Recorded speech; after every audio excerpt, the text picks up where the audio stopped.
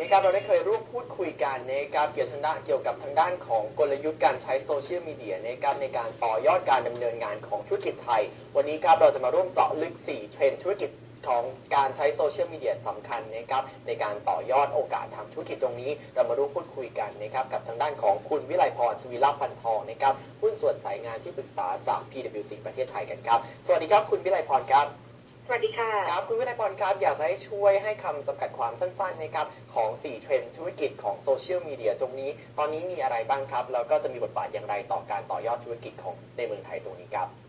ค่ะ ขอเรียกเทรนด์นี้เป็นกลุ่มแล้วกันนะคะเรียกสั้นๆว่าเป็น SMAC นะคะครับผมที่มันประกอบด้วย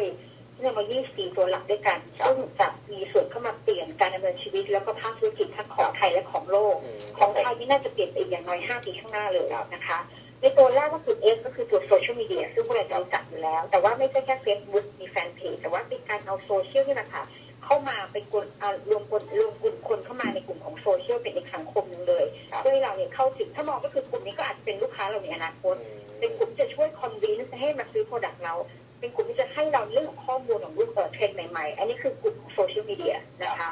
อันที่สอง M ก็คือตัว mobile ก็ คือเป็นความสามารถในการทำงานแบบ anytime anywhere ครับนะคะซึ่งถ้าประยุกต์ในเรื่องขององค์กรก็คือว่าเราจะสามารถที่จะให้บริการลูกค้า สามารถที่จะทำรายการหาข้อมูลติดต่อประสานหา service anytime และ anywhere ได้ครับผมนะคะนะคะ ส่วนตัว A นะคะย่อมาจาก analytics ตรงนี้เรียกว่าเป็นหัวใจนะคะ คือเป็นศาสตร์ขั้นสูงของการวิเคราะห์นะคะครับซึ่งข้อมูลที่ได้จากโซเชียลก็คือ S เมื่อตะกี้นี้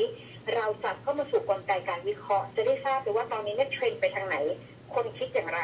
ซึ่งข้อมูลปัจจุบันจะมาในรูปแบบของไม่ใช่แค่ตัวเลขนะคะ มันในรูปแบบของการกดไลค์บ้าง คอมเมนต์บ้างนะคะ รูปภาพบ้าง เรานี่แหละค่ะนะช่วยวิเคราะห์เลยว่าเทรนด์เป็นยังไงอืมเราต้องดีไซน์ product แบบไหนนะคะเราต้องมีการเอ่อลงเข้ามาลึกขนาดไหนนะคะ แล้วก็สุดท้ายก็คือตัวคลาวด์นะคะคลาวด์เนี่ยครับก็คือถ้าบอกง่ายคือเป็นเรื่องของการเช่าอย่างพวกเราก็คงมีการใช้ Facebook Gmail Instagram จะไม่มีใครทราบว่าเซิร์ฟเวอร์อยู่ที่ไหน แล้วก็ไม่ต้องทราบด้วยครับเป็นการใช้ service เช่นกันค่ะองค์กรสามารถที่จะให้บริการลูกค้าต่อไปเนี่ย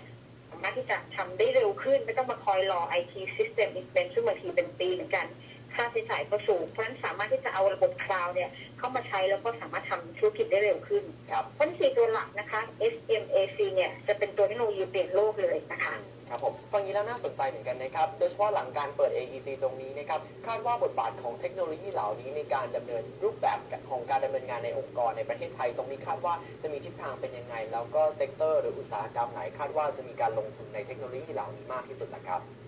ค่อนข้างได้เยอะเลยนะคะในเรื่องของ AEC เนี่ยเรากำลังพูดถึงว่า เราจะมีกลุ่มลูกค้าเราเพิ่มขึ้นนะคะจากอันนี้นะ600กว่าล้านคน เราจะเอา SMAC เนี่ยมาใช้เรื่องของการทำให้ service เราเนี่ย go to market ได้เร็วขึ้นนะคะ reach out ไปหาเขาได้เยอะขึ้นนะคะครับแล้วก็ในเรื่องของการวิเคราะห์ข้อมูลที่จะมาจากโซเชียลเนี่ยเราจะเข้าถึงลูกค้าได้เลยว่า ถ้าเป็นประเทศนี้เนี่ยเขาจะมีนิสัยการซื้ออย่างไร เขาจะอยากได้ผลิตภัณฑ์อย่างไร เราต้องมีการดีไซน์แบบไหนนะคะ แล้วก็ตรงนี้แหละค่ะเพราะฉะนั้น SMAC เนี่ย ยิ่งจะเอามาใช้กับการเปิดตลาดนะคะ การเปิดไปสู่กลุ่มชนที่ที่ใหญ่ขึ้น แล้วก็การการเอาคราวเข้ามาช่วยเรื่องของการต่อไปในการร้อยธุรกิจเนี่ยแค่ไม่ต้องรอเป็นปีๆเอาใช้คราวเข้ามาช่วยเปิดสาขาต่างประเทศอาจจะเร็วขึ้นด้วยซ้ำไปด้วย SMAC นะคะ ครับมาดูกันทางด้านของการประยุกต์ใช้กันบ้างนะครับ ถ้าภาคธุรกิจไทยสนใจอยากจะนำธุรกิจตรงตัวของโซเชียลมีเดียตรงนี้นะครับ SMAC ตรงนี้มาใช้ในภาคธุรกิจ คาดว่าตรงนี้นะครับน่าจะมีความเป็นไปได้ขนาดไหน หรือว่าจะเตรียมตัวอย่างไรดีครับ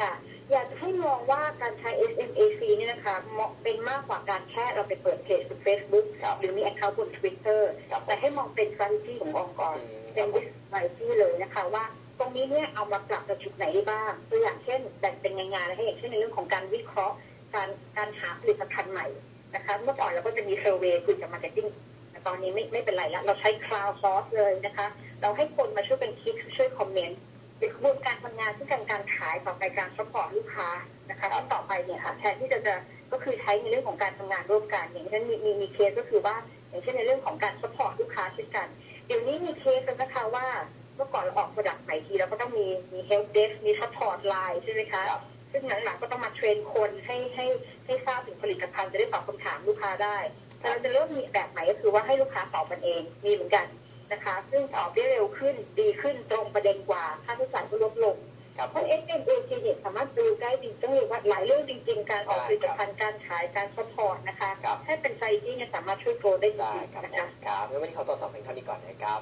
ค่ะครับขอบคุณณค่ะมาครับครับและนี่นะครับคือมุมมองจากทางด้านของคุณวิไลพรนะครับจาก PwC เกี่ยวกับการใช้เทคโนโลยีนะครับ4เทรนด์สำคัญ ในส่วนของ Snack นะครับในการต่อยอดธุรกิจของไทย ซึ่งคุณผู้ชมสามารถนำไปประยุกต์ใช้และเพิ่มศักยภาพในการดำเนินการได้ครับและนี่คือทั้งหมดของ Investment Minutes นะครับกับนาทีพลิกกลยุทธ์ลงทุนในวันนี้ครับ